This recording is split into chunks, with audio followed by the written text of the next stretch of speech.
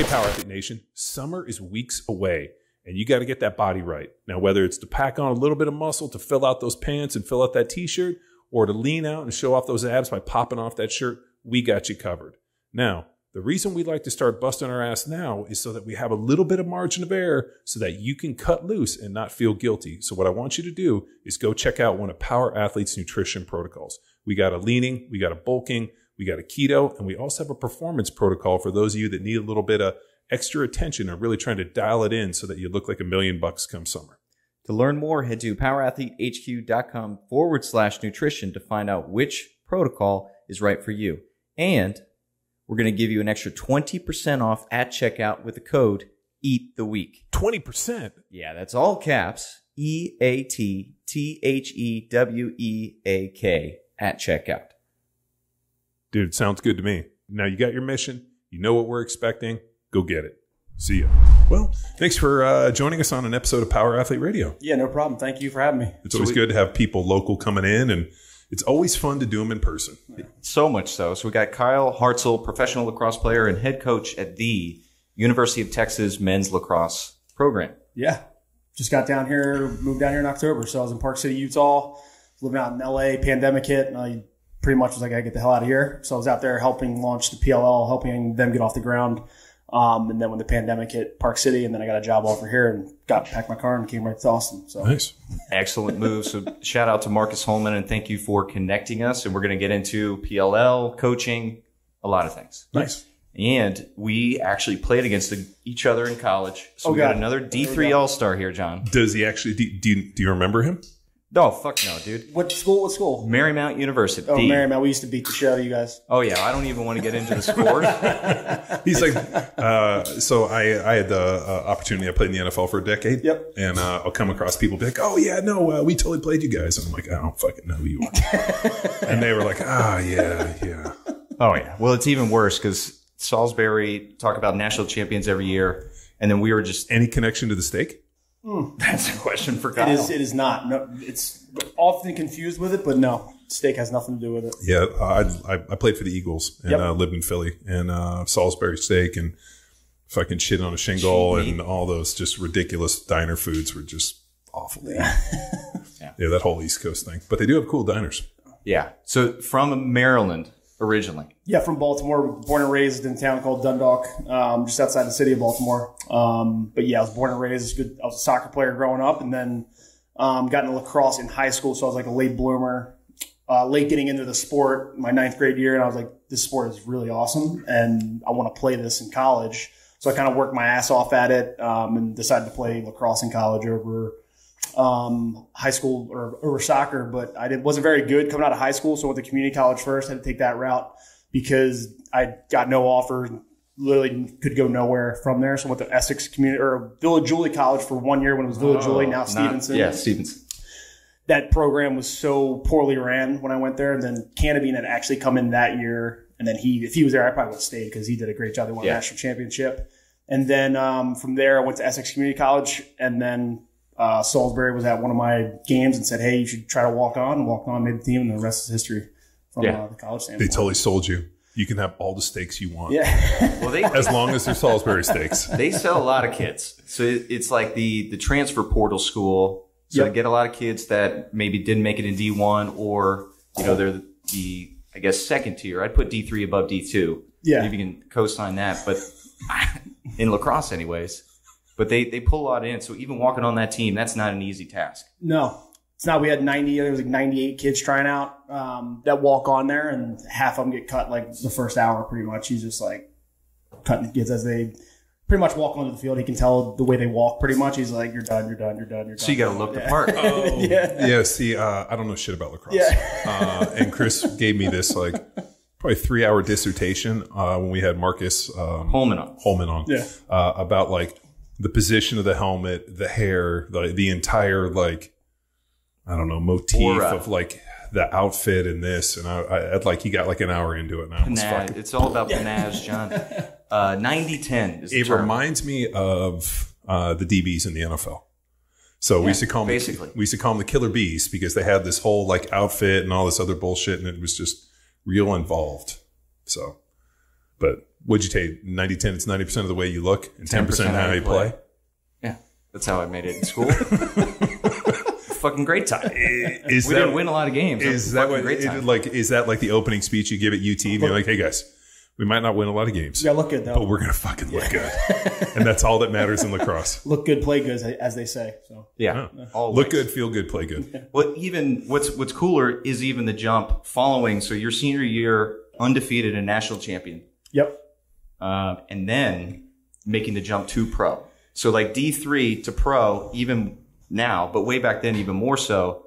It's not necessarily reality. So what created the possibility in your mind? yeah. I mean, just you know, when I was at Salisbury, one of the all-time greats out of there, Eric Martin, two-time USA guy, um, played pro for I don't know, had over a decade. Um, kind of wanted to not not follow in his footsteps, but he kind of motivated me to go play pro because not a lot of D three guys go and play pro. There's only I think today maybe two guys in there that are still playing D three. So you'll get one one every once in a while coming in, but that really motivated me to play professional lacrosse. I was like, I want to make one do it for myself, and two know that kids are playing D three. Is like you can anyone can do this at D three level, D two level. It doesn't matter what level you're playing at. You just got to put in the work, and Yeah. you can play at the highest level. Um, It's all about discipline and working out. I've been blessed with having great trainers um, throughout my whole entire career, um, and I owe a lot to them because if you have a good trainer that's putting you on a schedule and you're going there schedule pretty much every day. Kobe Bryant had a good quote like every summer before he went for basketball, he wrote a contract to himself, the training contract he was doing every summer, and it was non-negotiable. Showed up every day. You just got to show up every day, and you can do anything you want, pretty much. Yeah.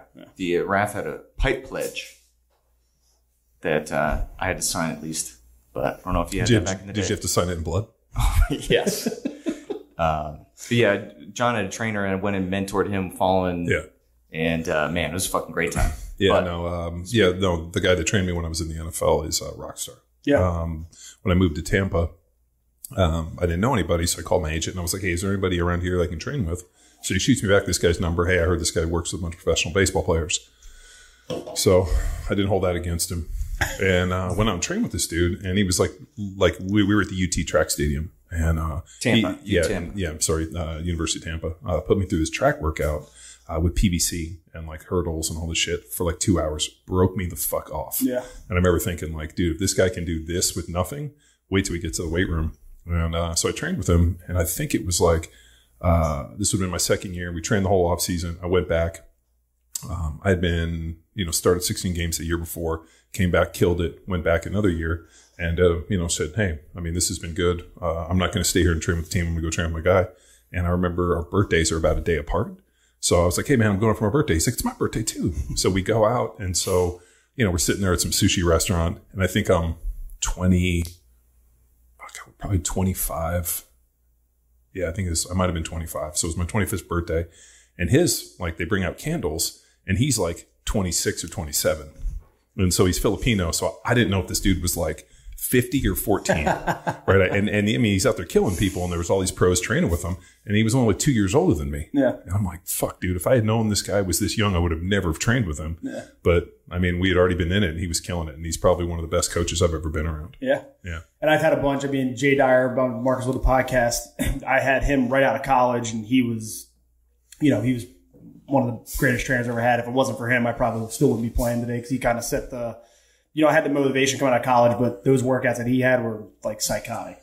300 yard shuttles after. Yeah. Like, can, can you get into the training for lacrosse? I mean, is it a kind of a, um, you know, combination of like football and, and soccer and like how is the training specific? Yeah, I think, you know, you need to have a good strength conditioning component in it. You don't need to be the biggest guy, depending on the position you play. I mean, you're seeing guys, you know, Marcus Holman, who you talk to, Will Manny. I mean, they're all under Will's five eight, I think, maybe 165 pounds. I mean, he's small, but mm-hmm. he's fast and he's quick. And then speed kills in lacrosse. So, like, if you're, I spend a lot of time, my speed and agility work is two times a week and strength conditioning two times a week. We mix it into as well. The new trainers I have up at the collective in uh, Austin, Tim Riley's my trainer and Jeremy Hills. Um, we work out with a bunch of NFL guys. So I have NFL guys in there I'm working out with. And then uh, Bijan Robinson just joined us last week. Been working out with him. He's an absolute moose of a person. Um, but we, it's, it's all strength conditioning.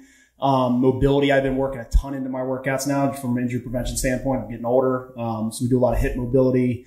Um, but yeah, it's pretty much a mixture of, I think, everything. Um, we're not kind of focusing on one thing. It's strength conditioning, getting strong, you know, in the squat department, getting our legs strong. Cause I play defense. So I got to be able to push guys around, be physical. Um, Yeah. so you need to have some strength for that position. Probably defensively more so than anything. You need to be strong, physical, um, and quick. So Get in the way. yeah, get in the way. But uh, yeah, a lot of conditioning. You know, 300 yard shuttles, those suck, but those are the best thing I use to get to shape on my own, pretty much. Are you doing uh, 650s or 50, uh, we I do 50 yard increments, and then I'll do 30 yard increments. Um, the 30 yard increments beat the shit out of you, but the 50 yards, you know, you can stride out a little bit. But the yeah, the 30 yard increments are they're tough. yeah that uh, that was our conditioning test in college was uh, two 300 yard shuttles separated by like five minutes Yeah. or it was three minutes or something and I remember we always lobbied for uh, 560s over 650s Yeah, and it was pretty amazing like one year we did it one way and the other way that extra turn adds fucking a completely different element to it crushes you. Yeah, but if you do that, if you're consistent doing those, man, that's like that's one of the best ways to get in shape. yeah Yeah.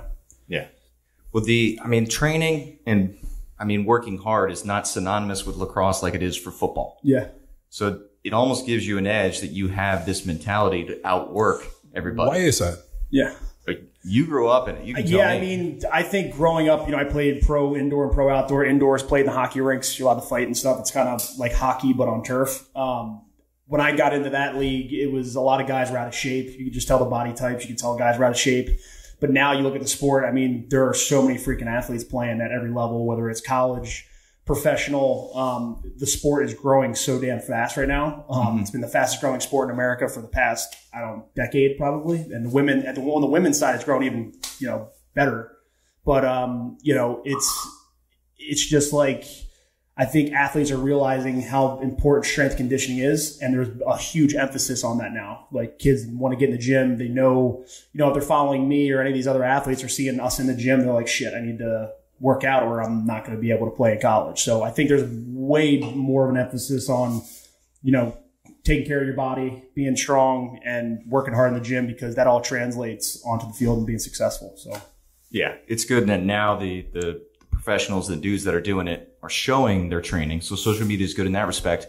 Otherwise, you had these kids that grew up, have coaches that maybe made it to a certain level, but didn't train hard. And as we know, high schoolers do what their coaches do. So, oh, you don't need that. I didn't need that. So you don't need it. Well, we always go back to when we were at the high school, uh, Texas High School Football Association conference, and we were. Uh, so this is before we moved to Texas. We were in California. Yeah, we were in California. were in California. Yeah, I was in California. He was in Texas. So we get asked to come speak and like uh, have a booth at this deal called Texas High School Coaches Association in San Antonio. So we show up. We're trying to Imagine LaxCon, but for Texas high school football. yeah, Uh, so uh, what happened was all these high school coaches, uh, performance polos with their team, shaved head, goatee. Usually, you know, the only thing they were training for was diabetes. Uh, I mean, dude, when I say these dudes were like, I mean, all goatees to hide multiple chins, shaved head, because you know, if you're a football strength coach, you got to have a shaved head goatee. yeah. Well, they And weren't then- even strength coaches. No, they these are the football coaches, Yeah. but they all figured out that this was like a pretty good look because it hides the double chin and then you know the receding hairline, and they just put on massive amounts of fucking you know diabetes. And Yeah. uh, we were trying to rap with these dudes, like, hey, what are you guys doing for your performance? What are you doing for your strength and conditioning with the kids? Uh, you know, and we either got we're not telling you, like we're somehow going to spy upon them, or uh, we're doing whatever Bear Bryant did. yeah, And I'm like, so you're going off in 1950s when water made you weak yeah, and like it was it, it was extremely eye-opening to realize how like locked people are in like the past and more importantly this is what we did or this is what i did so this is for what the kids you know yeah. And I mean, I saw that. I coached. I was down in Dallas for seven years, coaching Plano West High School, um, big football school. Um, and then you got Allen right down the street where Kyler Murray played, like one of the best high schools in the country. Um, but all of our lacrosse athletes were the football players were our best athletes and our best players. But we wouldn't get them. Football is king here, obviously, and they just run the show. So I would never get my football guys until like whenever the hell they would let them out of the gym. But every single guy would have a back injury, Shin splints. shin splints, you name it. And just when I would ask them what their injuries were from, every freaking injury was from the weight room because they go like Plano West, we have like hundreds of squat racks. There's two coaches in there watching them, and Yeah. there's 70 kids. Well, and the coaches don't know shit. No. I mean, because uh, and not to you know belittle any of these high school individuals, but the problem is is that because uh, they lifted weights at some point, they can coach football. Like, oh, you'd be the strength coach, and these guys, um, I mean, they, just, they just don't have a skill set. I mean, it. You know, I I, uh, I played offensive line, and even just watching high school coaches try to coach offensive line is painful. Yeah, it's tough. I mean, we had, you know, like I said, I injured my back in college, L4, L5 bulging discs, uh, deadlifting. But at Salisbury, same thing as what I saw in high school was we got our entire team in the weight room. There's one guy in there watching us, and it's a, you know, it's a dick swinging contest. Like, okay, that guy's got 315. I'm going to do 320. Didn't warm up properly, and that's when I effed my back up. Um, and I just got over that probably like three or four years ago, like no back pain at Nice. all.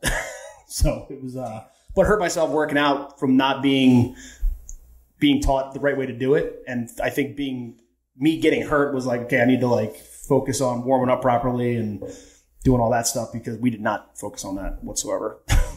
No, I mean there's um there, there's a really kind of interesting misconception, especially with lifting weights. And if you've had any back injuries, uh, there's a guy named Stu McGill, which we've had on the podcast. He always talks about the idea of like hypermobility being the biggest determining factor for injury, especially lifting weights. So to lift weights, you need a certain level of rigidity, and it's like speed. Uh, you know, like people uh, when we saw this within the CrossFit market, where people were hyper mobile, where because they were just doing nothing but mobility work, and they couldn't necessarily maintain positions and like stay rigid, and especially at the end ranges when they needed to be rigid. And so like there's this interesting balance of like, um, you know, doing mobility work, which is, looks like heavy weight on your back, stretching to full ranges of motion and staying active, and then being mobile in certain other ways. And so it's a really interesting concert for individuals, especially when you watch them train. Like where are they limiting in mobility? Like in a squat, for example, the biggest one we see is within the ankles. People's Yep. ankles, especially uh, if you play lacrosse or football, they fucking tape the shit out of your ankles. So then you get to this point, your ankles are fucking locked, then you go to squat, and it's and it's a motherfucker to try to get any positive dorsiflexion. yeah. And I stopped taping my ankles. Actually, I used to get my ankles taped every single game, Yeah. practice, everything. and it's like a cast. Yeah. They fucking heel stirrups and fucking locks and heel locks, and your fucking ankles are locked. And it's not until like the third quarter when all of a sudden the, the taste uh, or the tape is nice and sweaty and they've loosened up to actually where you feel like, oh shit, I can actually move. And by that time, the And- tape is worthless. And I had like ankle injuries. I'd roll my ankles all the time, but I would tape my ankles, but I'd roll my ankles playing basketball. And then I stopped taping my ankles and I haven't rolled my ankles. since. so Yeah. we we had to tape our ankles or we would get uh, fined. Yeah. So I, what I would do is get my ankles taped like three hours early, squirt water in them, work them, and make sure the shit was nice and loose by the time I went out there. So Because they if matter. not, yeah, by that time it was was useless. Because the next, uh, what is it? The next joint up's your knee, right? So if you're too tight at your ankle, Yep. if your ankle's going and doesn't go, your knee goes. So Yeah. that's another thing I heard, and I was like, okay, I'm gonna stop taping my ankles. Yeah. Well, I mean, think think about it. It usually goes two joints too, because if the ankle's locked, now all of a sudden you have hip and knee injuries. Yep. And so, Potential. Yeah, potential. The yeah, I broke my ankle, broke my fibula uh, freshman year, so 2005, two weeks before we played Salisbury, and Did gravy come out for the Salisbury steak? yeah, but yeah, had to sit, sit out that year. But then for the remainder of my career, taped ankles every single day because I would not let it take me away from the game. But little did I know what I was actually doing, deterring my performance. And I have to make up ankle issues for years. Yeah, no, um, man, like the ankle thing is so fascinating because you think about like uh, uh, foot position, especially all the stuff we've been doing with uh, trying to like uh, increase strength in the foot. Uh, we had a coach on Cal Dietz who's super sharp, and um, his whole deal is that uh, 99%, 99.9% of our contact with the earth is within the foot. So all the injuries we see within the knee and the hip are from weak feet and collapsing arches and was just lack of mobility, rigid feet. And so basically putting a training program together to make sure your feet are the strongest will alleviate 99% of all these issues. And work, does working out barefoot help? Oh hell yeah! Uh, I think so. Yeah. I've been doing that a ton. This, like this year, I haven't, haven't put my shoes on. I've been working out nonstop with my shoes off. Yeah, there was an old uh, podiatrist when I went to the Eagles as a rookie. I, I have high arches. Yeah. And his whole deal was like, hey, man, um, I'm either going to make you orthotics today, or if I cut you a deal and show you how to stretch and, and maintain your feet, uh, I won't make you orthotics. I was like, shit, I'll take option two. Yeah. And then I asked him, like, you know, like, where'd you come up with all this? And uh, his deal was his dad was a podiatrist. And he's like, you don't think that uh, podiatrists actually have always made orthotics, don't you? Yeah. He's like, before they had to teach people how to take care of their feet, people are fucking lazy. I just make them orthotics now. Take a pill. Yeah. Yeah. And so he showed me how to like uh, mobilize my feet. And then he's like, I don't want you to wear shoes. Uh, the only time I want you to wear shoes is if you're putting on football cleats. So in the off season, I mean, we still don't wear shoes in our house. I walk around barefoot all the time, and I just haven't had any foot injuries since then. Yeah, same with me. I haven't had. I mean used to roll my ankles all the time, and I have not. I don't think I rolled my ankle in shit six, maybe ten years. I haven't rolled my ankle. Knock on wood. Yeah, knock on wood. so what what other injuries are pretty common? Is it uh, mainly ankles, knees, hips, backs, I mean shoulders in lacrosse, or is it just kind of like football where it's just a a crapshoot on what gets people?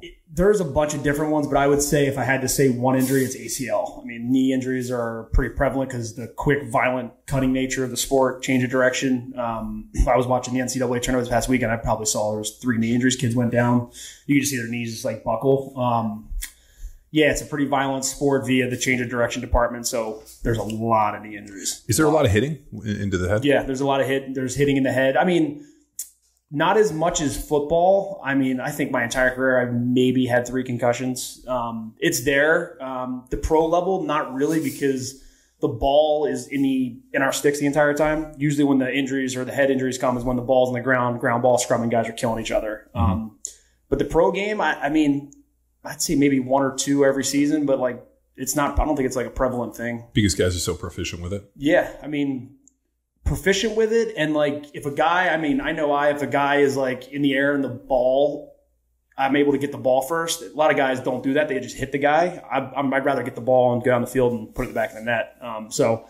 There are some meatheads out there that want to hit people and kill them, which is great. I think it's good for the sport. Um, but uh, yeah, So how does this work? Um, you're you're coaching the lacrosse team, which is uh, is it an NCAA or is it still a club? It's MCLA. So when I took the job back in um, September, um, they've had they've tried to take it Division One. Um, they've come short with the money. Need pretty much like twenty two million dollars. Um, and once you- Shit, that's Yeah. fucking money hiding in the fucking Texas couch. I know. You're, you're like, go in there and look at the 80s couch. He's got 22 million hiding up in that bitch. Uh, I do got a, a funny antidote. So I interned for a strength uh, University of football team 2013. So the summer of 13 and brought lacrosse sticks to, I mean, we had the middle of the day off when it's hot as all hell.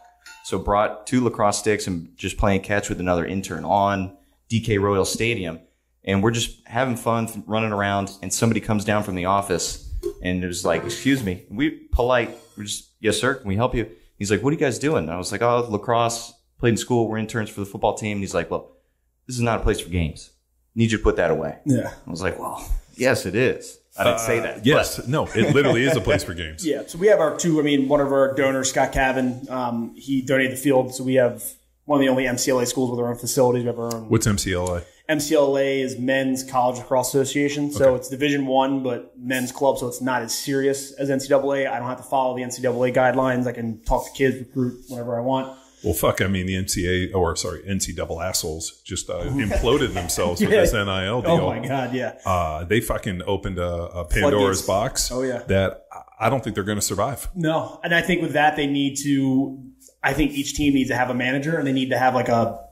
I call like a salary cap because some of these NIL deals these kids are signing. Oh my God. Because Bijan, he works out with us. He pulls up in a Lamborghini. He just signed a deal with Lamborghini. They gave him a Lamborghini, and I, I don't know how much that deal's worth, but Is, is, is he a He's UT still a college guy? Bijan, yeah, he's the Heisman. He's the Heisman front runner. I mean, one of the Heisman front runners. He's got a back. Lambo. Yeah, Nice. Good But, for him. uh, fucking good for him. yeah. But I mean, some of these kids. The thing I like about it, like some of the kids that do get these deals, the situations they come from, like they can take care of their families, and it's good. But they it needs to be managed. I think in some in some aspect. Master P's son got two mil before he played a game. So what's wild is that the um, uh, the donors are putting together these like uh, investment groups, and now they're raising money to go out and legally pay these kids Yeah. and sign them to these deals. So it's just actually they legalized. I mean, shit, they they gave uh, what was it? SMU was the fucking death nail.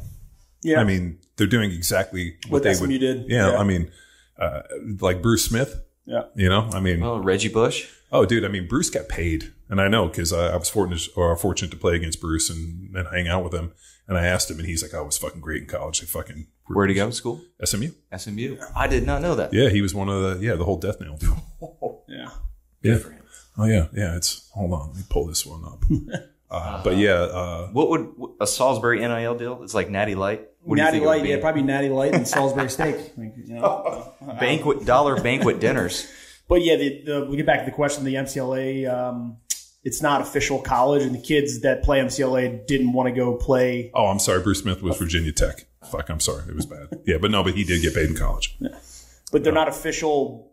A lot of the kids I talk to don't want to go play D1. I got a couple D1 transfers coming in, and they're just like, "Hey, like I just don't want the constraints of Division One lacrosse." And I get it. Like they got their social lives and their their workload, and then they feel some of them feel like they don't have a life. I mean, at Salisbury, six a.m. workouts, go to class all day, practice, and then that was it in the spring. That's all I did with my full time job. But like, I like that, and mm-hmm. some people do, some people don't, and I think MCLA is a good balance. Like, we're pretty serious at Texas. I, I'm trying to check. You know, I changed the culture as soon as I stepped in. We beat the number one team in the country this year, so um, biggest Which win- is who, who's B- number? BYU. Oh, is BYU the biggest? Huh? Yeah. It's kind of unfair, you know. They're um, they got wife, kids. Some of them are 26. They don't drink. They don't do anything, and it's like, but they're they're unbelievable across the team. Yeah, but they they do it in other ways. Yeah. Uh, have you ever seen those uh, the fucking Mormon slamming energy drinks? I mean, like uh, Cokes and energy drinks is like they're fucking uh, like they're Yeah, they're it's crack. unreal. Oh yeah, dude. Well, I mean, you know, people got to do something. yeah. You know, But they're, I mean, can't say enough, enough about them. But yeah, we beat them this year. We went up there to BYU, beat them. That was a pretty big win. And kids kind of saw that, you know, they can do anything. And, you know, we're getting the right pieces in place and we're all sophomores. So we'll be back next year for sure. No. nice. Yeah.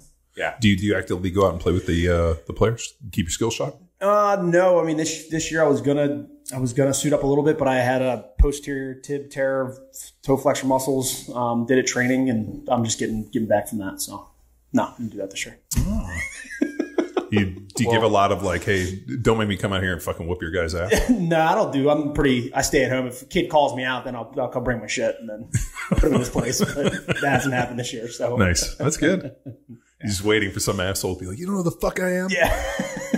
God damn you. So what's the, the goal with the program? To continue to build it to be number one? I think it's to build it, but like another reason I took the job was with the potential of taking it Division One. If Utah or if, if Texas were to go Division One, so if they went Division One next year, it would be the easiest school to recruit to. These kids that go to your Syracuse's and your Johns Hopkins. You know, I lived in Baltimore. Johns Hopkins, a prestigious school, good lacrosse school, but you take them to a UT football game, take them down to you know Rainey Street. I mean, they're Sixth Street and yeah, all they're that. they're not they're not going to Johns Hopkins. They're going oh, to Oh, I agree. yeah. That's Fucking why. great. Well, I mean, they're going to do to lacrosse what happened to football. Just fuck the entire program up by having these kids show up and think that the I fucking made it to the NFL. I got to UT, and then they all fucking bomb. Yeah. Hope they turn around this year. I went to two games last year. They lost both of them. I went to the Red River. You better game. stay away, dude. Yeah, so Dude, was like- I, uh, I was like, I got to get out of there. I stopped going. Dude, uh, I played with uh, several and against dudes that went to UT, and it was pretty universally known that the guys at UT were just fucking going to be washed out in the NFL. Yeah. And it was like, well, dude, they already made it to the NFL when they got to UT. And it was just kind of this weird misconception that, uh, you know, UT was the highest level. And just very few of those guys actually panned out. I mean, I think uh, uh, DJ Derrick Johnson was about the only guy I played with who actually panned out. And uh, they were talking about what a beast he was. I never even thought he lifted weights.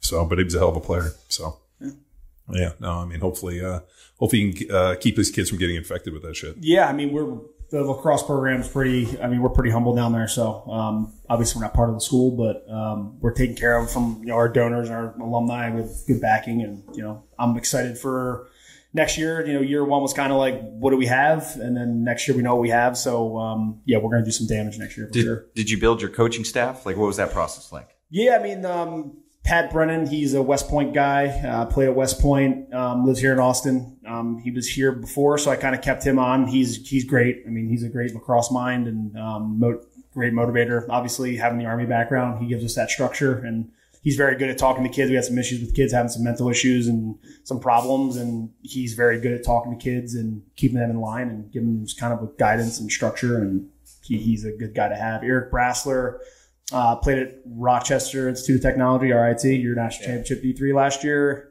Um, he's also run, he runs the offense. I, I run the defense, but those two are a great tandem, and they've done an unbelievable job uh, at UT. So yeah, we're gonna they'll, they'll be there for years to come, hopefully. No. Yeah. We're about coaching versus playing. Like, where do you pull your coaching influences from? Previous coaches that you've had or philosophies, books, things you've stumbled upon throughout your journey? I'm a big, I mean, I do read some books. I don't read a ton, but I'm a big, like, learn from people guy. Um, John Danowski, uh, he was my Team USA coach. He's probably one of the best coaches I've ever had next to Jim Berkman, who's at Salisbury. Uh, Coach Berkman, I learned a ton from. I mean, his leadership style and skills are just, you know, I've taken obviously, you know, similar to your dad raising you, you kind of learn from them. That's what they were. They're pretty much like fathers to us and like teach us how to one, be leaders, be men, be good people, character, um, and the rest takes care of itself. But John Danowski and Coach Berkman are two that stand out. Um, coach Nat St. Laurent, my pro coach, he's another. He's uh, ex-military guy, well structured, um, and I learned a ton from him as well as my second year with him. But I kind of, you know, stayed in touch with him when I he wasn't my coach. Um, but yeah, he's he's a great leader, great mentor, and um, glad to have him as my pro coach. So yeah. What do you think? Like, um, you know, uh, for the kids coming out of high school, like, what's the limiting factor for them coming in college and being dominant? Is it size, strength, speed? Is it skill? Like, where? like what sets the bar like what you know like when you talk about like the cutoff when a kid comes and shows up like Yeah. what's the difference Um, I think it's depending on the position too, but like, I think speed and size is very important because if you're stronger, if you're bigger, faster, stronger than everyone, you're obviously an asset to have on the field. The skill piece, right? If you're getting recruited, you still have, you got to have some skill. Some kids do have raw stick skills. Obviously, a big hand eye coordination sport. You're catching this ball on a stick. Um, but you can work on that, right? If you bring him in as a freshman, you work with him all year. He gets to learn from the other players in front of him. I think by year two, he's going to be a, a force of, you know, force to be reckoned with. If you have all the skill in the world, but you can't run fast and beat guys, then, I mean, you're useless, I think. From, from a, I mean, if you can cradle and shoot the ball 100 miles an hour, but you can't beat your man in front of you, I mean, you're not going to get on the field. so it sounds like uh, big strong athletes that are able to move in space you can kind of like take that individual as long as they have some semblance of skill you can teach them some of the, the Yeah. stick handling we got a kid coming in, uh, Caleb Eby. He's St. Anthony or St. Michael's kid. He um, he's six five, two hundred and fifty pounds.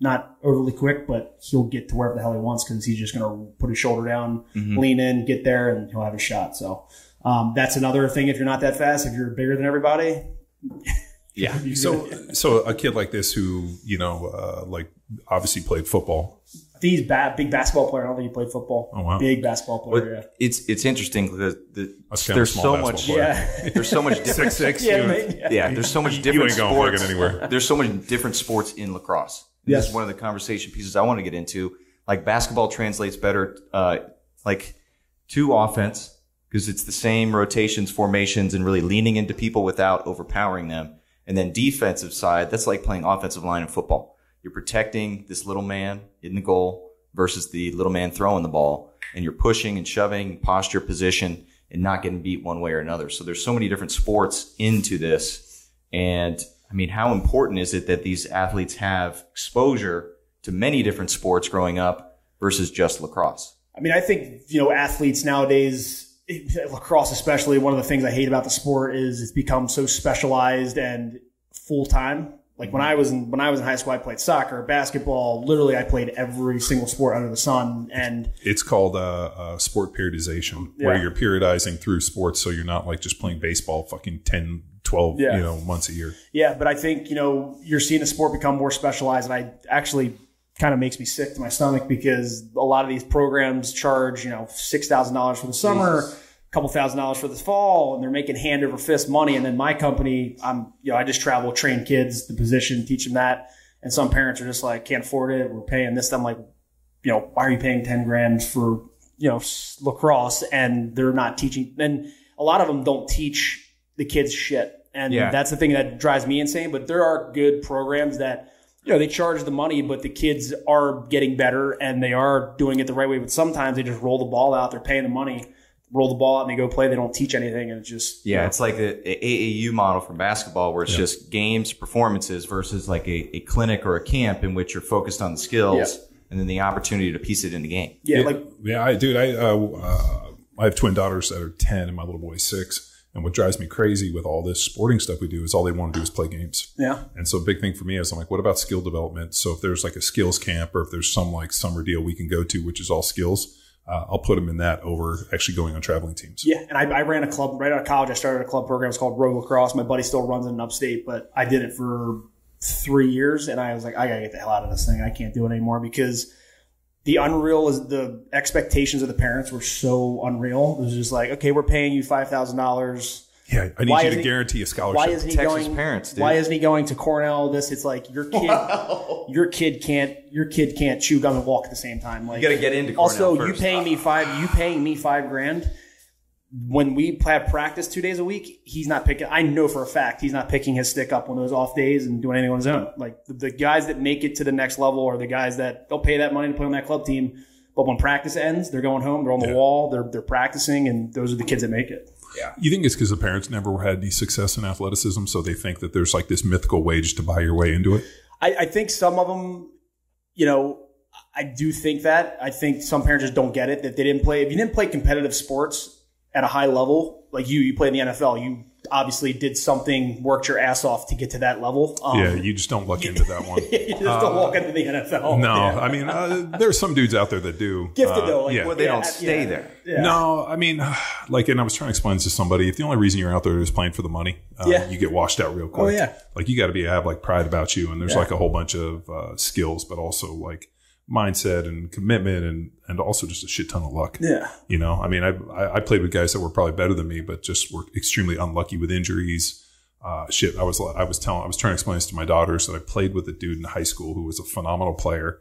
Um, the fortunate, uh, the unfortunate thing is he was kind of good looking, and he ended up dating this girl who was an absolute fucking twelve in high school. Uh, like like she was the type of girl Girls, where will, like girls will get you in trouble. like 30 year old dudes were dropping her off in a, in a Ferrari when she was like 16. And uh, he somehow hooks up with this girl, and her parents didn't get home till like five o'clock in the afternoon. And like football practice, like, so he was like, basically, I can go home and have sex with this girl and ditch football practice was what he selected, which uh, I can't say. Put in the same situation, I wouldn't have done the exact same, and I'd have got a chance to play in the NFL. Thank God, I, she, he was way better looking than me. yeah. And uh, I remember it's like I, I got scholarships and uh, I got like 100 scholarship offers, ended up going to Berkeley. And um, I remember he was in my class and he's like, You're going to Berkeley football scholarship? And I'm like, Yeah, you could have gone. He's like, Yeah, I totally fucked that one up. but he's like, But it was great. And uh, yeah, so uh, like there's a lot of like just Yeah. pitfalls that dudes run into. And I think that, you know the parents. I think one, the parents, if they didn't play competitive sports, they don't know that background. They are like, okay, I'm paying you this money. Why isn't my kid the best lacrosse player on the field? Um, and there's just, I, I think, in the whole sport of lacrosse, this might be across all sports.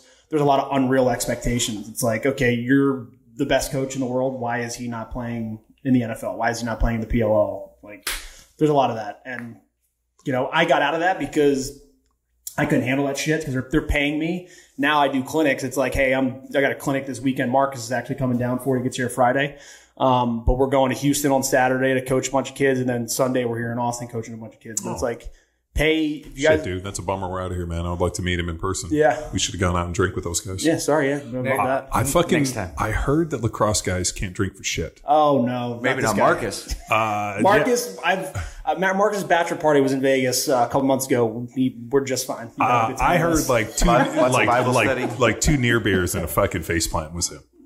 Isn't that what he told us that he can't drink? Or Marcus. yeah, Yep, sounds about right. Yeah. Sorry, dude. Marcus, he, I think he's given you guys. He's, he's set the bar really low. So when he goes out with you, he's like, "You're like, holy shit, this guy can drink." yeah, which is me. I, I have like one like so. Uh, I'm the world's worst drinker. Uh, I have like a drink and get bombed off of one drink, which is perfect because uh, like my days of fucking sitting there and fucking slinging and back till three. Yeah, it's fuck, I can't That's do over it. with. Yeah, as I've gotten older, that's getting less and less. I'm like maybe I go out maybe twice a month. I'll have casual drinks on the weekend, but yeah, it's, those days are over.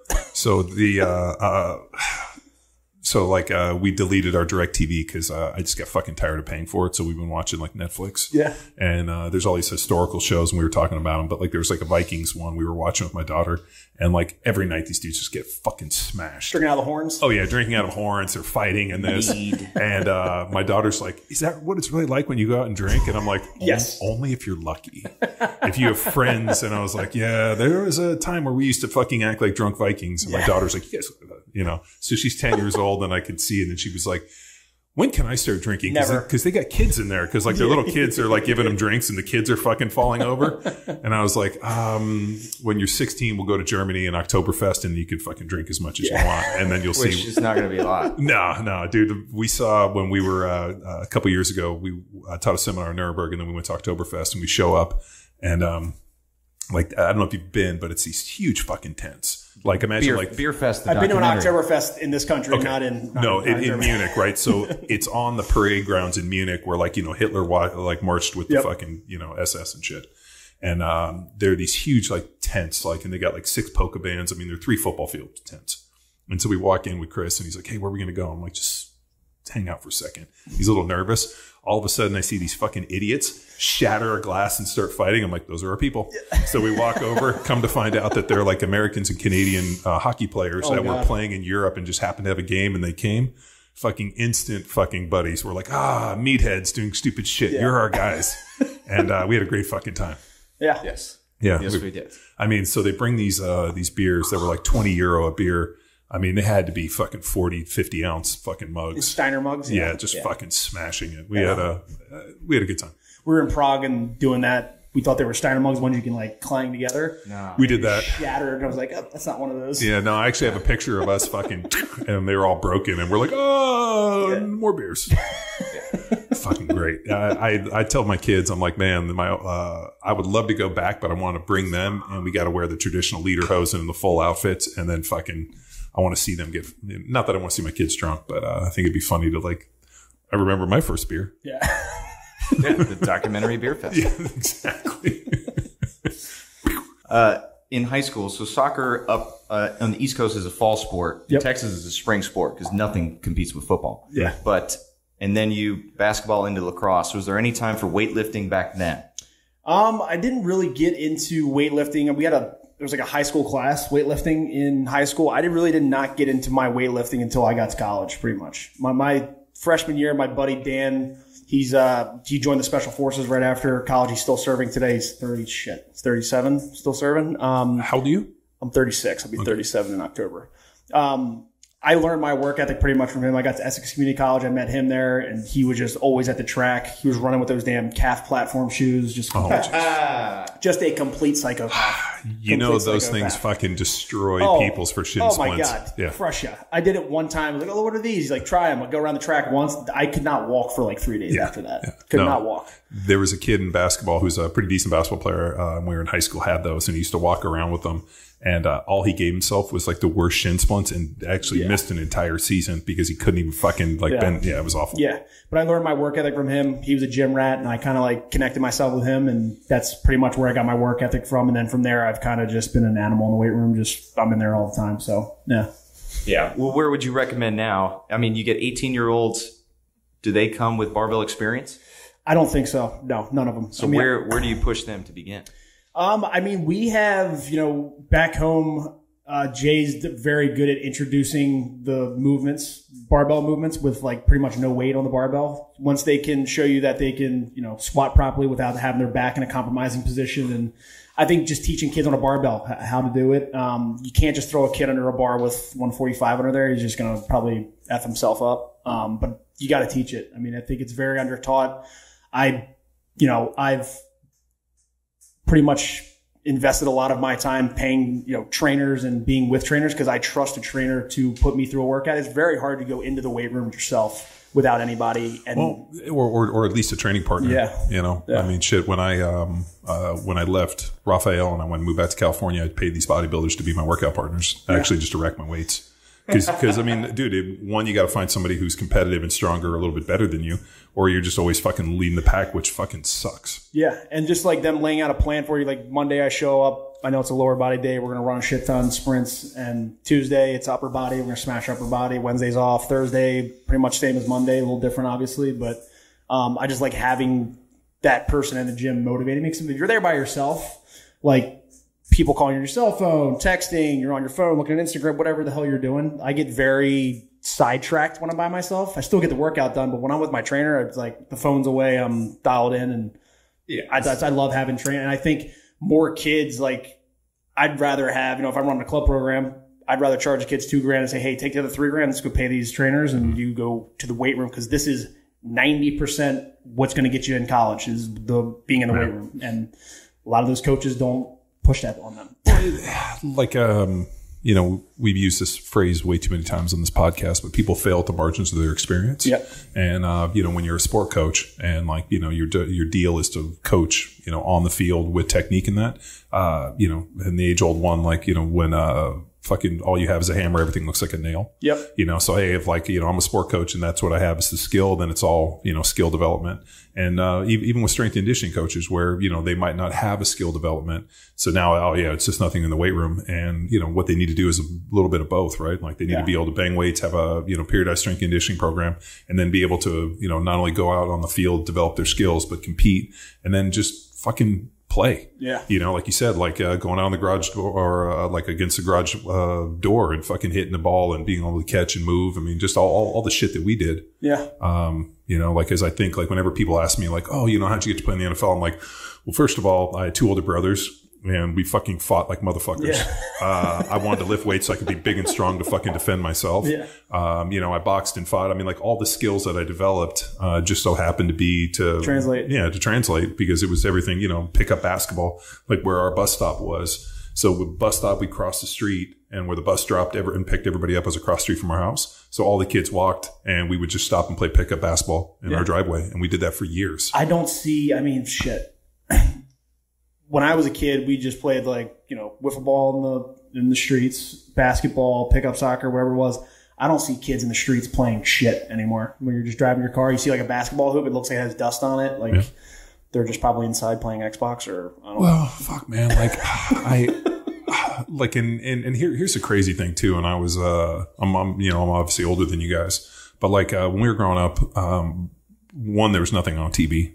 Like, I mean, fuck, it was just like there were seven channels and it box, yeah. sucked. And so like we would turn it on hoping there was something on. And we never knew what was on because we didn't get a TV guide. Like, you know, fucking, there's no like, uh, um, scrolling thing telling you what's on. You turn it on, you flip through the channels, and we gotta fucking turn it off and leave Yeah. and we go out and play. And there were a ton of kids in the neighborhood. So uh, when I look at my kids having like access to Netflix and computers and like you know, I mean, we had computers, but like what they we had like seven discs you had to put in to play a game. So like think about like phones. I mean, there's so many distractions. Uh, like I was lucky that we were born in a certain time where it didn't have this stuff. Yeah. Whereas now I look at my kids and I'm like, fuck, I don't know if I'd be any different. Yeah. I mean, like, dude, like everything they play looks like a lot of fun. Yeah. If I went to the TV and I could watch anything at any point for endless amounts of hours, I might have fucking planted my butt there and fucking watched all of it. Yeah, and I think you're a product of your environment, right? So it's like there's a lot of technology right now, but it's also a time where there's so much. There's, the positive of it is like I can jump on YouTube right now on my phone and find a workout. You guys probably I saw your website. Like there's you guys have programs. I can buy a program. Like there's a lot of stuff at your fingertips that you can use to your benefit, but there are a lot of distractions. Yep. There are a lot of distractions. Oh fuck, dude. I, I uh, man, uh, I think about this way too much, and I'm like, man, I don't know how you guys are going to succeed with as many distractions and fucking pitfalls as there are. I mean, like it, it's in it like like just um uh this one blows my mind. Uh, like access to porn.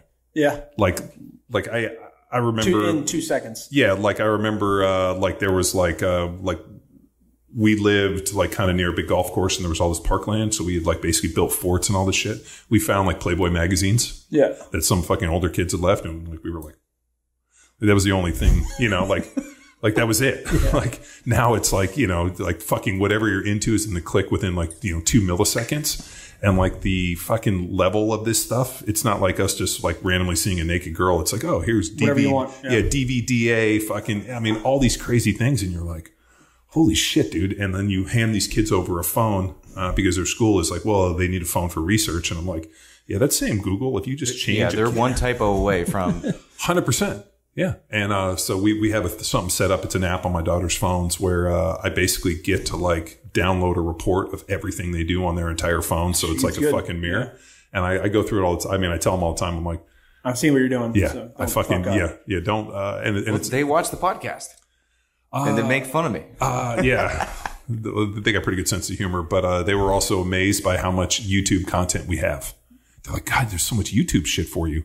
And I'm like, dude, and we don't even have like we're not even actively fighting for YouTube. So just oh man, it's it's uh like I honestly don't know how these kids are gonna make it. Yeah. And I tell them all the time, if I if I had one wish, it'd be a time machine that could take you back to 1978.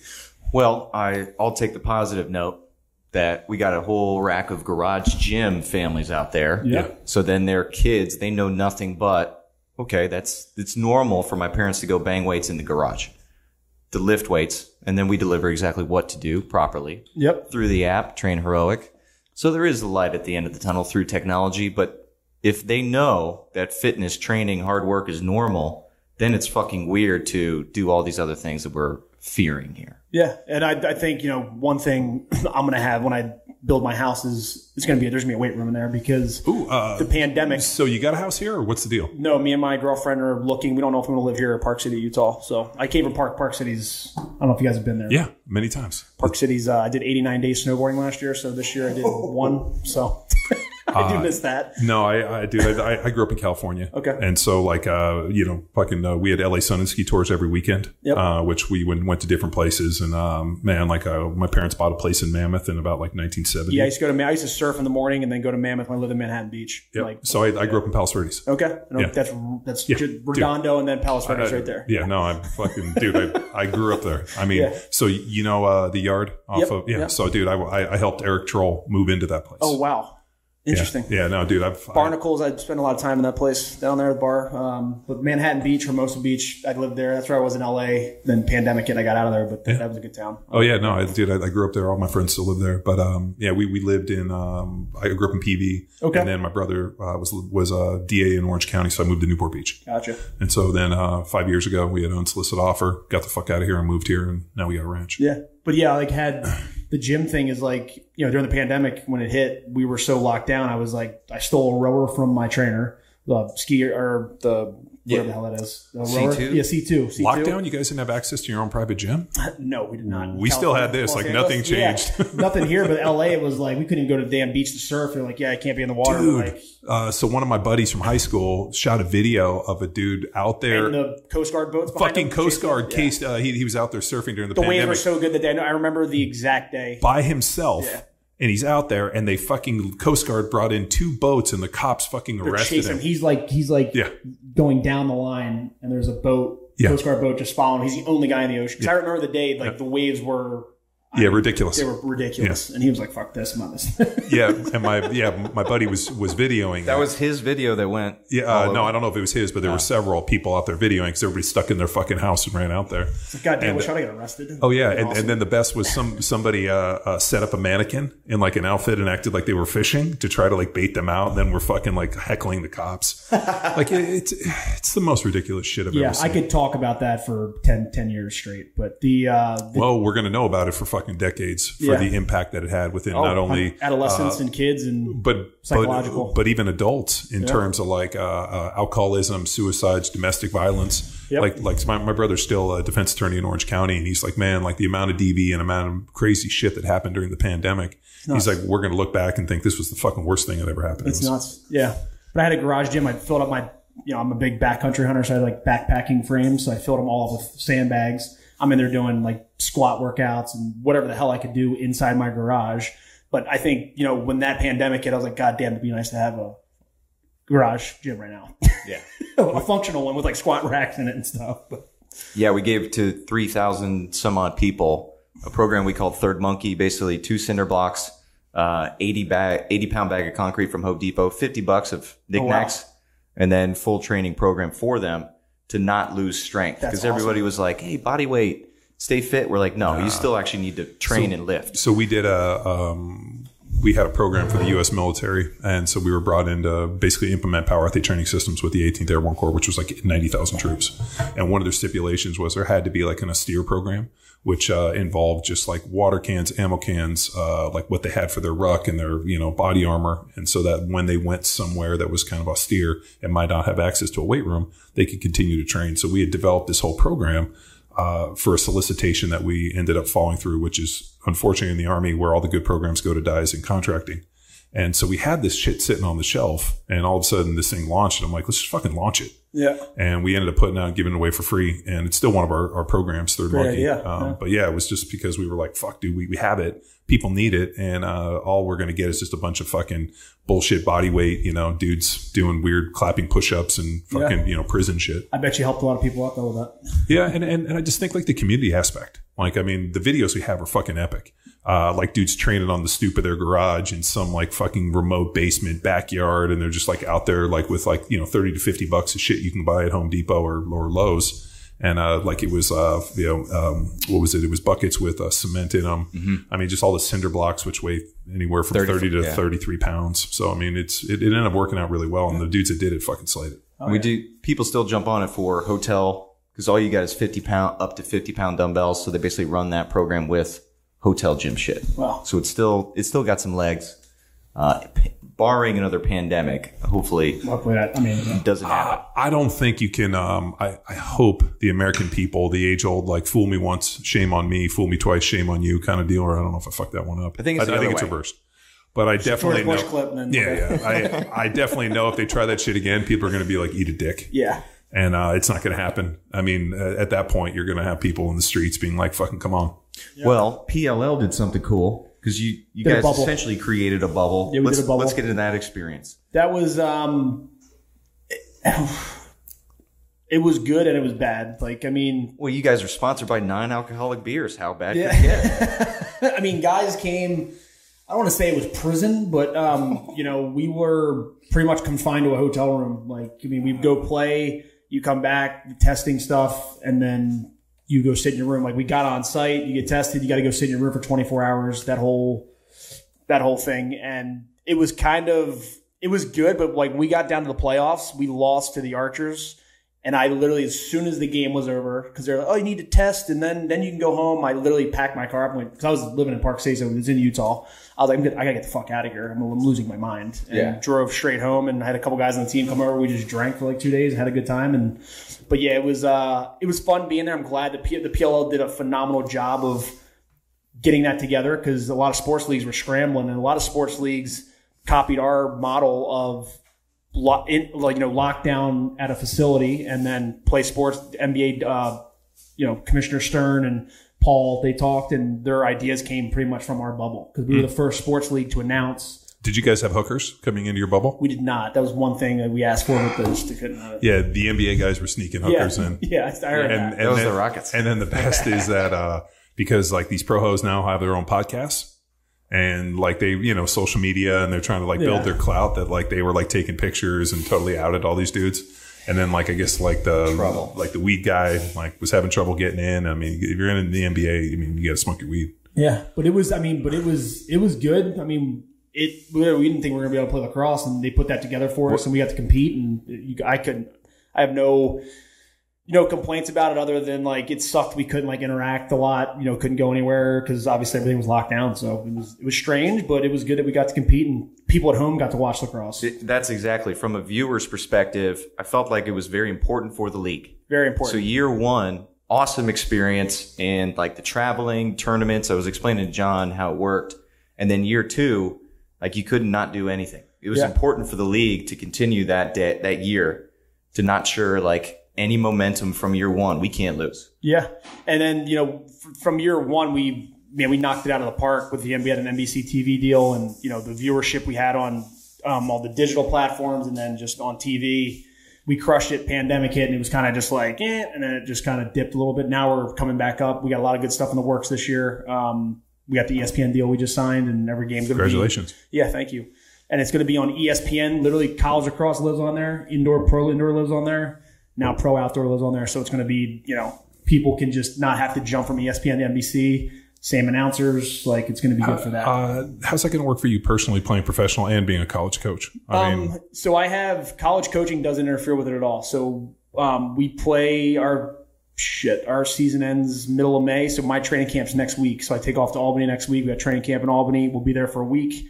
Week one's in Albany. So June. So we're there for a week and then we stay, play that weekend. Yeah. This launches the Friday of the week one. Yeah, Yeah. but but what about your off-season training? I mean, uh, like if you're not training with the kids, then are you out there practicing, or like how are you sharpening your skills? I have uh, my trainers here I met in Austin. Um, they do a great job. I've been with them pretty much every day of the week. And then um, I take care of my own stick work skills. I do all that on my own. But at my age, it's kind of like, it's very easy to pick up. It's like riding a bike for me. Yeah, but- if you can't do it now, you probably never be able to do no, it. The Yeah. most important thing for me is the weight room. Like that is the biggest piece for us. If you're not doing that, like guys that get injured, I've been lucky. I haven't been injured in fifth. This is my 15th season. I have not been injured seriously yet. Um, I hope I'm not going to get injured seriously, but I think a lot of that is to do with the trainers that I've had and the workouts that I do. It kind of keeps me out of the off the training table. I think. Yeah. nice. Yeah. And nice. The, uh, I mean, the Rabils have done an awesome job. Again, this is from an outsider's perspective. But what's it like working with them closely and seeing how they've they've taken a hold and had a vision and made it a reality. Yeah, I mean, I remember going to their pitch meetings with them in New York City, um, pitching people for capital. Um, they're two very bright individuals, and they had their mindset on starting this pro league. We know we played in the MLL. You know, max salary was sixteen grand, and we had no health benefits. Uh, with the PLL, we have I think league minimums now twenty five grand, and then you have we get full benefits, you know, health benefits, and every player gets equity in the league, which we're the only sports league in the world Nice. that gives their players equity, which is a shame because you look at the NFL and you know NHL, how much money they make, and It's- the players. It's disgusting. It's disgusting, but also like these players that get paid all you see. It's sad to see some players lose all their money just they mismanage it. But like if they had equity in the league, you know, they have something to you know Yeah, but the owners. Um, won't happen. uh, I've told this story on this podcast before. Uh, when I was a rookie in the NFL, uh, Tom Modrak, who since passed away, rest in peace, uh, was our GM, and he walked over to me and said, "Hey, man, uh, you know, like basically, you were my draft pick. Like, if you do well, I do well. We're kind of married in that way." But he also said, "Man, you'll be successful in the NFL if you forget, if you never forget this." Remember, it's a, uh violent game played by violent individuals who get paid a lot of money to do violence on behalf of old rich white men. Never forget this. Jesus. And uh, I was like, okay, fair enough. Like, let's make no illusions. We're not here solving cancer. We're not out here fucking curing heart disease. We're not out here. We're you know we're not the little sisters of mercy. We're here to dish it out. Yeah, regardless of like what they want to do in the NFL and their image problem in this, it's a violent game played by violent individuals who Yeah. fucking get paid violent uh, Yeah. to, to be violent. And um, you know those fucking owners, dude. Like, um, what's the NFL team that's going up for sale? Uh, the Broncos. Oh yeah, uh, Yeah, dude. Did, right. did you see like the numbers? Bit, five like bil- five billions. So like when Jeffrey Lurie bought the Eagles for like two 150 it was 150 or 200 million. They fucking said he was insane. And they're, you know, now all of a sudden you have the Denver Broncos going up for five billion dollars. Yeah. I mean, just to give you an Oh. idea, like so so what's wild in the NFL is every team is a nonprofit. It's how they've collectively bargained Five hundred one three C are they? Oh yeah, so Really? all, I didn't all- know that. oh dude, the NFL structure and how they created it in terms of like not paying taxes and this whole deal and the deal that they cut with the government for collectively bargaining is an absolute fucking genius. Wow. So all the teams uh like they all are able to like make money in different ways from like concessions and this and boxes and the whole deal but then they share TV revenue so all the players are paid f- from the TV deals so the owners don't pay the players. The you know the TV revenue is what pays the players. So that doesn't even come out of their pocket. And then they make all this different money in here. And then also the big teams, big cap teams share. I mean, dude, it is fucking genius level of accounting. And then they got it all signed off by the uh, U.S. government to where they don't pay taxes. and these owners make fucking money hand over fist. Wow. And uh, we never even got a glimpse until uh, Al Davis had his lawsuit with the NFL about moving. And all of a sudden, this had to be like public record. Dude, it was like uh, amazing the kickbacks on the kickbacks and the way they were making money. So the fact that an NFL team is selling for that much just gives you a glimpse at how much money they're really making. So what if they pay $5 billion for a team? I mean, are they making 500 million? Are they making a billion? Like, what's the whole deal look like? I mean, they, they want a return on investment. Oh, so it's, uh, it's pretty amazing. Yeah. So, I mean, and, and what's, what's, what's even better is the owners do not open their fucking mouths at all. So like, they don't know because like, They don't have to. they don't have to. You don't have to. Oh, it's fucking great. But they, I mean, Paul and Mike, they just did a great job raising the money and they had a vision and they've obviously capitalized on it. I mean, MLL was so piss poor. I mean, the product on the field when you watch it was great, but um, Well, the commercials were awful. yeah, awful. Really? They, Oh, my God. What were they? I'll I'll pull some up on YouTube, and you'll just be like, I'm out. Yeah. I hate lacrosse. I hate everyone. Because they just, Just from the commercials? and, and they would tell we would tell them, hey, we need this. This is missing. This is missing. This is missing. They wouldn't listen to us, and they, Paul was like, I'm starting my fucking lacrosse league, and we raised the money and did it, and they folded the year after. They, we went. We asked Jim Davis, who owns New Balance, is a, still a uh, public or no private company. It's not public, billion dollar company, shoe company.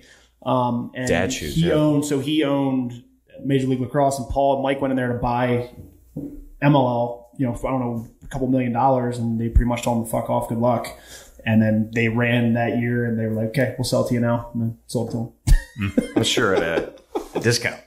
at a discount. Oh yeah, Yeah. Because they came to them, we're like, "Hey, we want you to buy us now." It's like, "All right, well, the price tag's this now," because we don't we don't need you now. Because now the reason they wanted to buy them is because we own now we own lacrosse. now there's Yeah. not two competing leagues and you don't have to worry about it. But the the team names and the whole approach, like I, I've been to the Final Fours and Yep. in the college Final Fours, John. It's it's Memorial Day weekend. Uh, Saturday basically is the the two D one teams. Sunday is uh, D three, D two, and women's championship. I think the women's. Yeah. And then Monday is the the D one championship. But it's like a festival. So it's how they suck you in to stay. So then they take this model and every weekend in different cities, which we're going up to Dallas at the end of July, is you a guys different gonna watch? You guys, you guys gonna watch? Well, I'm I get, I'll get you. I get you tickets. Thank Yeah, you. guys yeah, and I'm, I'm trying to position our boys up top to connect us for some interviews, some some stars that they want more personality. I'm trying to tell them like, hey, this is how you how you win. You become WWE personalities. You get our fan base that are rooting for the dudes that are dudes, I can and get then you some. I can get you some. I can get you some interesting guys in there if you want. That's uh, we're making it happen. Uh, dude, I am. Uh, uh, I, I find it really interesting. Um, you know, like uh, I'm a fucking sports snob because I played in the NFL. Yeah. Uh, but it wasn't until I met Chris and he keeps yapping on about this fucking lacrosse thing, and then we had Marcus on the podcast. Uh, I watched all of his clips and started watching it. And dude, it's really uh, Aesthetically pleasing. well, it is. Uh, but just dudes moving in space and doing it well and spinning and moving, and it just it. it, it Pro like- games fun to watch. yeah. yeah, don't come to the high school games. Well, no, but, uh, that'll ruin your. That'll ruin. but it, it was uh, like what I liked was I liked the aggression. I liked that it's this combination of like, okay, you give them a stick, right, which can be used as a weapon. You got a helmet. Uh, you know, I, I just like I appreciated the sport and the athleticism, and it was fun to watch. Yeah. and it's fast paced. You know, which I think the, the reason the Americans hate soccer so much is it's kind of slow and this and like you know like uh, it just it's never going to take. No. But then when you go like uh, I uh, years ago, I was a commentator for NFL Europe, and like the NFL fans did not understand NFL football at all. Yeah. and they couldn't fucking understand They're all it. Premier League fans. And Yeah, soccer, I I mean, you know, they're they're out there. They didn't know when to cheer and like the start and the stop and this. And so I think like American, like the um, the nature of lacrosse appeals, I think, a lot to the American audience. So well, it's I dug it. America's original pastime. yeah. We call it. It's called America's. What's it? Um, the the sport of the future. wasn't it like a. Native American sport. Yeah. Yeah, the indigenous. That's their. You know, they call it the medicine game. They played that. Their fields would be miles and miles and miles and miles long. They'd Was there on- shrooms and peyote involved? I have no idea, but they have here. We have a couple Native Americans in our league, and hearing them talk about it, it's pretty pretty eye opening. They have a good. They, they talk about it all the time. We had a couple specials on like Lyle Thompson, Jeremy Thompson, the brothers, um, two of the best Native American players in the world, best players in the world. Um, but yeah, just the, if you read into that stuff, the, the you know the medicine game and how they played it and how violent it was, and they played with no pads on. They'd hit each other in the heads with the sticks, and so it was a Warriors game, Warrior Nice. mentality. It was pretty cool. You'd actually like if you read into that, you'd probably like that playing in the NFL. Yeah, no, I mean, I, I like violence. Yeah. Uh, like uh, whether it's boxing, I mean, uh, that's why I hate watching Mayweather fight because he fucking just ducks the Defense, fucking. Uh, defense, It's like he never gets hit, and like I, I commend him on being the best at fucking evading Yeah. and never taking a shot. Uh, there's only a couple times, but yeah, man, I, I like to watch this big dudes fucking clash. Mike. Tyson, there's Tyson the best. Yeah, that I mean, grow, gr- growing up, he was uh, like our hero. Yeah. the fact that he fucking sprinted out of the out of the uh, locker room, you know, the the towel cut through, Yeah. fucking black shorts, no socks, just coming out and fucking strapping dudes up. Like that's the fucking mentality. Yeah, he was. He's. I mean, he's still an animal. Yeah, you saw that idiot fucking throw a water bottle at him and then fucking punched him. For, They just go, they go to they go to him into that just for one again social media. They did it to get a social media clip, and and he's what, probably going to get paid for it. no, he's not. No, He's he's not? Uh, no, uh, they won't file any charges. Good. And uh, everybody's like, "Fuck you! You deserve what you get. Don't fuck with Tyson." Yeah, he's sitting there by himself. Like, leave him alone. Maybe you maybe ask him, "Hey, can I have an autograph?" He says, Oh. "Yes, great." If he says no, then Dude, fuck off. I would sit there and be like, "Man, I am such a fan. Like, sign anything, or more importantly, can I get a picture?" Yeah, and more then be importantly, with it. like, and if he'll any- do it, and he'll do it probably. Yeah, and, and he, he, dude, he gave his time. He was super nice. It wasn't until the dude hit him with a fucking water bottle and talked shit to him that he got up and fucking gave him a shot. I got a good story. Louisiana, I was down there doing a camp, and I went to a shit. I want to say it was a Gold's Gym, and Arnold Schwarzenegger was there. I was, Oh. No one, no one was in the gym. It was just me, my buddy, and then he has like a I'd call like a security detail around him and over there. I'm like, holy fuck, pumping iron. That's fucking Arnold Schwarzenegger over there. He was Yeah. like on pre, I don't know what he was doing, preacher curls or something. Walk over there, and I was just like, hey man, huge fan. Can I? Get Can I pic- work in? Can I? Yeah, no, I didn't say that. That's what I would have said. I, I would have walked in and been like, "Hey, man, you look like you need a training partner. I volunteer myself. I want to work in. This is a once in a lifetime. we heard it when we were at Oktoberfest. We heard Schwarzenegger was there, and if he was there, we would have fucking rushed the stage. Uh, But so I went over to him and asked him, "Hey, can I get a picture? Can I get an autograph?" He said no immediately, and then the security guys like ushered me off. I was like, "Oh, that was interesting." And I got it. I was like, "He's working out. Probably doesn't be bothered." I get it. Yeah. and I walked away. I didn't get my phone out. I didn't egg him on. Nah, I mean, people people bitch about it. Uh, shit, I, I remember uh, They don't wanna uh, before we built our gym, I was working out at the Gold's Gym, and uh, I saw Jesse James in there, who's our neighbor over here, and I just made a wise ass comment. I'm like, "You're a long way from fucking Long Beach, dude." Yeah. And he was like, and then uh, we realized, uh, you know, I had met him, and and um, we knew a whole bunch of the same people, so you know, Yeah. we've stayed friends, but. Uh, yeah, he doesn't work out. Like he was kind of like you could see him like in there, like kind of looking around, hoping people like hat pulled down. Yeah. And uh, I'm like, yo, man, most people are so fucking into their own, uh, like, uh, like can't get out of their own way. I mean, it's, it's pretty disgusting. And like, I periodically have to go work out in a commercial gym just to remind myself how much I fucking hate it. Poor movement. Oh. Yeah. Well, just not only the poor movement, but uh, the amount of people that are trying to like document every aspect Oh, of their yeah. fucking workout. So Yeah. they got like a, a magnet Tripod. here and this and a tripod and this. And these guys are like fucking 50 cents of, uh, of like dumbbell bench press and they got their fucking thing set up and they're trying Yeah. to do it. And I just want to go by and like fucking stomp on it. And Yeah. I'm like, God damn it. Fuck. If like a, a you know if a tree falls in the in, in, you know in the woods and nobody's there to hear it, does it really fall? Like if a fucking workout happens, and you don't document it. Did you really work you out? it? Yeah. Get the fuck out of here. Uh, but that's why we built our gym. Yeah, I like it. Well, I want to get into some. You said outdoor backpack hunting. Yeah. Uh, those are some individuals that John uh, Yeah, right here on this ranch. sniped on this ranch. Oh, ranch. nice. Yeah, Okay. so uh, uh, we have um, uh, we're over 16 acres, so I can hunt this property, and then for our wildlife exemption, I have to like kill invasive species. So that big pig I fucking shot. Oh, you get pigs coming out here? Oh, yeah. I got I got some pictures I showed. Dude, I- thermal, I was thermal hunting this weekend. Uh, dude, I shot like six of them. awesome. oh nice. Well, if a you need any helicopter? help, Yeah, uh, I, I, uh, I have a place down south I have access to, and then up north, uh, my SF buddies that are up there, they work for like this billionaire. They have like eleven thousand acres, and one of my Oh, fuck. buddies invented a suppressor for a minigun. We went up there. I'll show you the video. We went up there last week and tested the miniguns on top of Humvees. It was dude if uh, uh so i um i got a pretty decent uh like infestation Yeah. and so i have cams set up all over here and then i got thermal and you know suppressors and the whole deal and uh so what i do is i'll lay there and then my phone will buzz and i'll like check it and i just pop out and i fucking you have the camera that alerts you. Gotcha. Mm-hmm. yeah, and it, it texts me, and then I got uh, uh, like a PVS 14, and then I got so I can go out and scan with like uh, night vision. Yeah, we have- and then I got thermal on the guns. up north we use white phosphorus PVS 14s with the IR lasers on them, and then um, Yep. this weekend we used uh, we just had thermals, pulsar trail, and then something else to blackout suppressed. Like yeah, it was Yeah, no, I've, I've been using this uh, uh, Q Honey Badger, and then I also got a, uh, a mini fix and a fix from Q. Gotcha. And I got those all suppressed set up. With, I got a bunch uh, of custom built guns. We'll I'll share some yeah, pictures with that. yeah, little, little Envision. I like those, but yeah, no, I, on my um, uh, HK four sixteen, I got a laser, and I'll use that, and that's kind of like if I got to engage multiple targets, but if not, I'll go out and pick them. Yeah. and so they literally just kind of creep around. I get them, pop out of my bedroom, uh, fucking boxer shorts. Fucking shoot them, knock them down, and then drag them out. But um, yeah, those three I've taken uh, actually with, just within this property. Oh wow, yeah. Yeah, I so- had. I'm a big bow hunter. I might do rifle too, but I'm a. I love archery. It's it's awesome. But I traveled. Went to New Mexico last year, the Gila National Forest. Nice. Um, got elk down there um, Nice. last year, but I mean, hunting is my passion. So when I'm done playing lacrosse, which is probably going to be this year, I'm getting full time into that space. I'm trying to figure out my way in there to you know make a living off of it. I still haven't figured that out yet, but um, hunting is.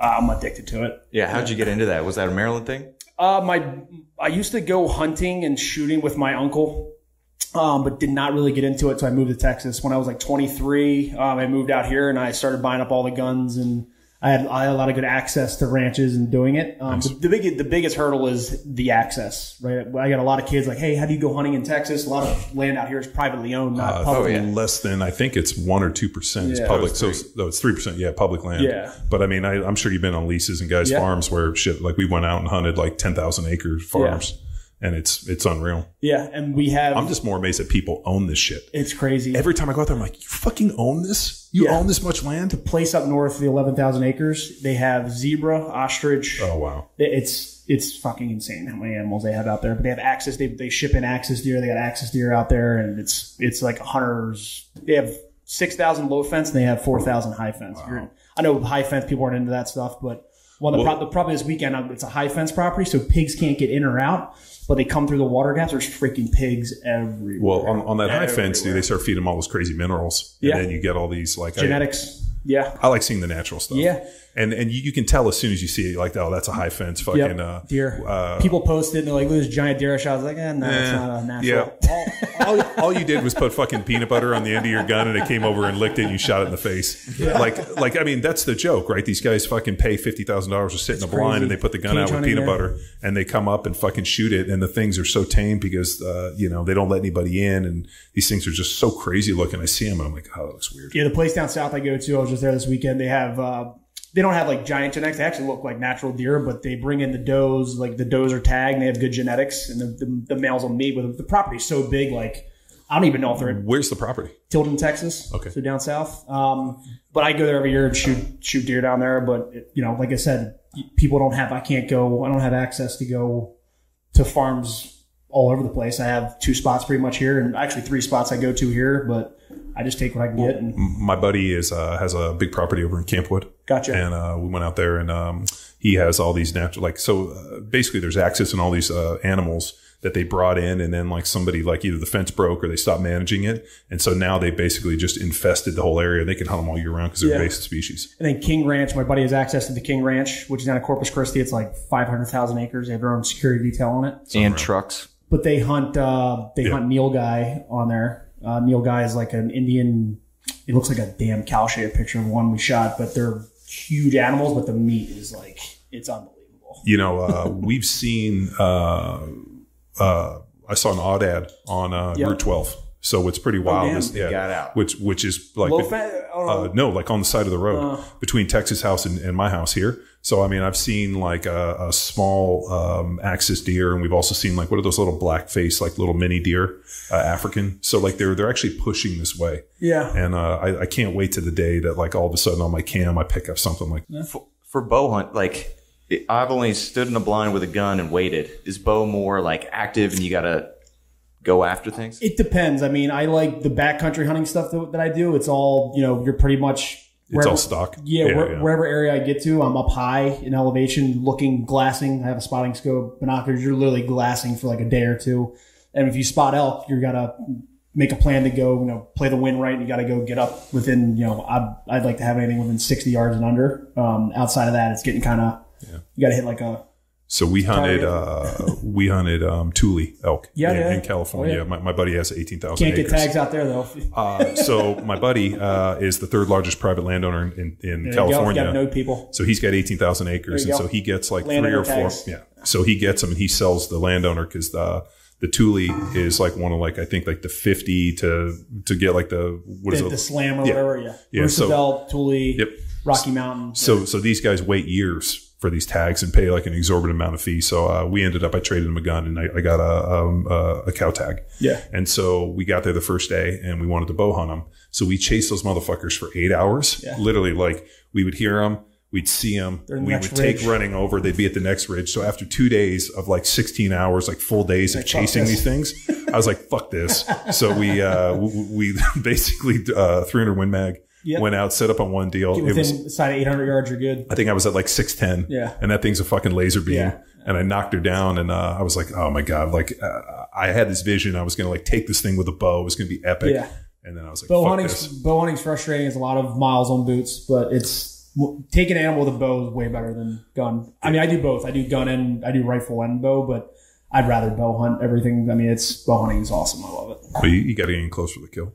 What's that? You got to get in close. Yeah, and I like because with a gun, I'm so proficient. I could teach you could teach anyone how to shoot a rifle. Um, bow is you're drawing it back, you're holding that weight back there, and you got to like be steady and shoot And, it. and, it's a perishable skill. Yeah. I, I- I feel like shooting um, is a perishable skill, Yeah. but not nearly as much. As long as I like, uh, you know, I mean, I try to shoot like uh, at least once a week, you know, and sometimes during the summer or even like more coming into it, it'll shoot every night. Yeah. And, uh, you know, like you just become pretty proficient, like point aim, like, hey, I know exactly what this thing's doped at. Like I'm going to hit this thing. Yeah, And, uh, you know, but with a bow, fuck, there's so many more and especially if you don't like shoot with somebody, like keeping your elbow up or having some Yeah. technique stuff. So when we were in Newport Beach, uh, over in um, Huntington, there was a really good indoor range, and you could go in there and they would have people and you'd be like, Hey, just watch me. Like, you, you know, help me clean it up. And you could book some time and dude, it was so, You got plenty of space out here for 3D. yeah.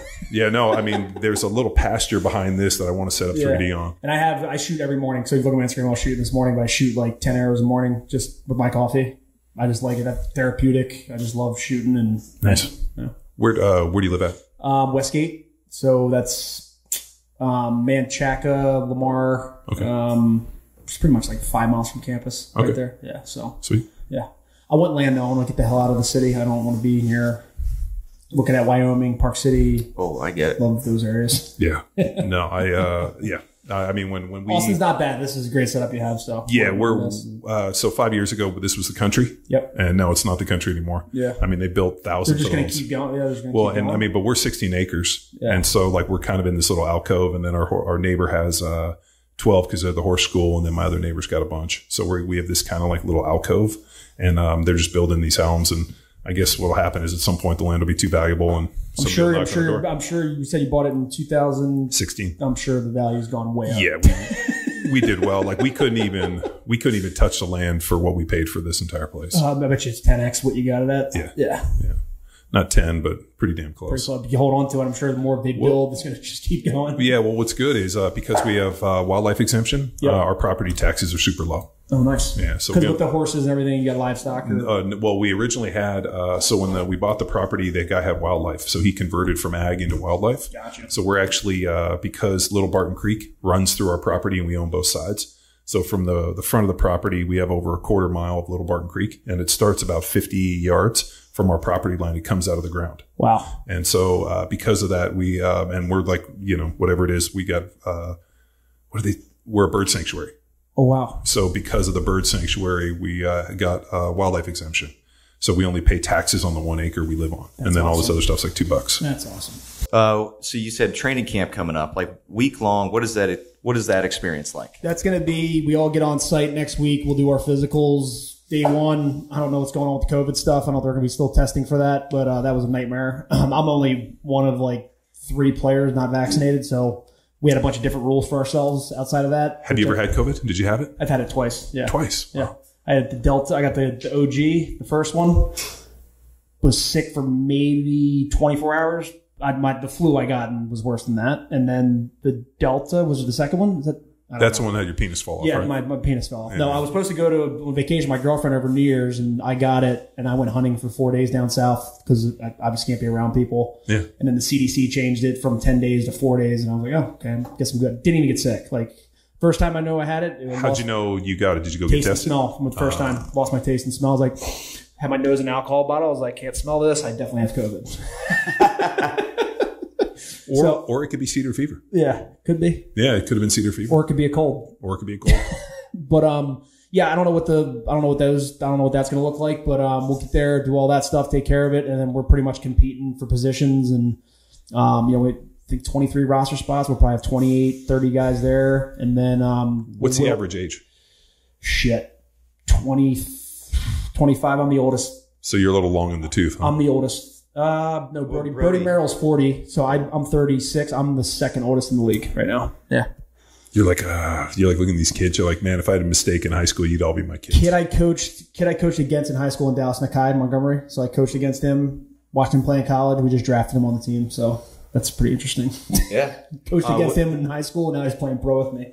So that's pretty cool. Well, it's like Tom Brady. Yeah. Uh, Tom Brady's uh, first. There, there's a kid that uh, who, who was it? The Tampa drafted that wasn't alive when Tom Brady first came in the NFL. That's wild. So how wild is that? You're like, oh, I'm fucking. You've been playing in the NFL longer than I've been alive. That's pretty cool. Fucking great. I love it. Call me dad. Yeah. The uh, Fuck. well, shit, man. Uh, well, I mean, we we know Marcus is on the Archers. Yes. So we didn't explain your team. Who can people root for? Like, where do we direct them to give some some power athlete love your way? Um, I'd say you know Redwoods obviously follow me, but um, for our young stars, I mean you got Myles Jones, uh, big midfielder. He's pretty much an NFL player with a stick. He's huge, athletic. Um, he had an unbelievable season last year in the assist department. He likes to dodge. He's got great vision. Um, likes to share the rock. So look for Myles this year. Rob Pannell, still one of the greatest attackmen um, in the league at end of all time. Um, so he look for him down at the attack position. Um, Eddie Glazner, Garrett Epple, defenseman And then you got a local boy here, Tim Timmy Troutner in net. I think he's probably next Team USA. I think he's definitely a front runner for that position. Him and Blaze Riorden, they're the two best goalies in our league. And um, you know, obviously Timmy's a young, bright star, and he's uh, look out for those guys this year for sure. And TD Ireland, best face-off guy in the league, I think, next to Trevor Uh, how do the teams work? Like, are they actually like kind of like in the NFL and everything else, where it's like a team is associated with like a certain town? No, sir. it's pretty much like the MMA and NASCAR. We travel the travel show every weekend, and they're clubs. So Redwoods Lacrosse Club, Atlas Lacrosse Club. There's no city model. We're trying to we're just touring right now. I think the end goal is to we get asked that question all the time. The end goal is to sell it um, to city based, have people buy them up in cities, and then go that model. But right now, I think it's good because we drop into an area like Dallas, we sell it out. It's great. We go to another area, we don't get many fans. We'll just pick it up. We'll go somewhere else. And Nice. because you get locked to a city and no one shows up, Yeah. you're fucked. Yeah. And it, yeah. No, I mean, it, it's a great model. yeah. Well, and grows the sport. Sure. So that's what's cool is way, way west. The effort out there. That's cool. You guys go with the We're in West Coast. Seattle. Yeah, we're in Seattle this year. I think we're in California, um, Seattle, Utah, here. Yeah. So trying to go, trying to hit every city, bring sport to everyone. Sweet. Nice. Well, where where can people go to follow you personally in your journey in this? Um, follow, I'm following me on Instagram at khartzell81. My company at Defensive Academy. I'm shut down on Instagram right now. It should be back up hopefully next week. What happened to me? Dick pics. they know they. He's like, I was DMing dick pics uh, to kids. Uh, this new gotta- NIL thing is real weird. I logged into it and then they said, "Oh, you might be too young," and we're reviewing the account, so I had to appeal it. They, they did this new thing with the they, ages. they did that to my uh, uh, to my wife's and I account. fucking hated it. So I went on there and just lied about my age because like fuck you, I don't want to give you my birthday. And then like I put something in there and it made me 13 years old. And they're like, oh, you're too young. I was like, no, no, no, no, no. This is what I did. Please give me my account back.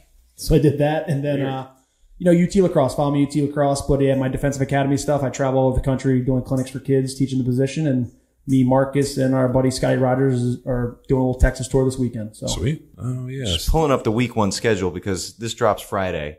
So Saturday, this Friday Sunday. or next Friday? Uh, week one Friday. So June Yeah. in Albany, I don't New even York. know. I don't. That's probably pretty bad. I don't even know who we play. It doesn't matter who we play. Just fucking let him show up. Doesn't matter. Fucking beat the shit out of Marcus. Yeah, if you guys want to come to Dallas, so let me know. I get you guys tickets. Leave a Yeah. roll call for you. Count us in. What about Marcus's hair? I mean, you know, It's with with the, flow. the yeah, the, flow. fucking Fucking bounce. this guy with The all Balti. He, he I'm called not. it the I'm not a Balti. stat. I don't. They all dye their sticks and stuff. I'm pretty old school. I get all these kids are like, "Hey, can I dye your sticks for the season?" I'm like, Dye him "Uh, with what? They like dye them, and they're pretty crazy. Like these kids. Uh, Like airbrush and does wild shit. yeah, these him? little kids are creative, man. They'll take your heads, so we'll ship them the heads, and they'll design them to our teams, like colors, logos, and they'll string them, color coordinate them, and then they'll you just post them on Instagram for them. But they make. I mean, they got to be making a lot of money doing that. All right. So y'all lead off the entire season. So Redwoods Atlas on E ESPN Plus, June 4th, 2.15 p.m. Eastern. Yep. And then on the E ESPN, the one, the Ocho, 5 p.m. Whipsnakes and Chaos. That'll so be the Saturday. rematch of the championship game last year. Yes. Sweet. And then all summer long, right? All summer long on ESPN. All right. Power Athlete Nation, thank you very much for tuning in to another episode of the premier podcast in strength and conditioning, Hing. Power Athlete Radio. Thanks, dude. Bye.